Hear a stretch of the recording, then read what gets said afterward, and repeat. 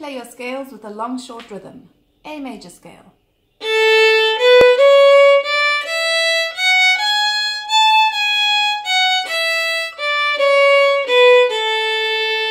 Always follow it with a short long rhythm.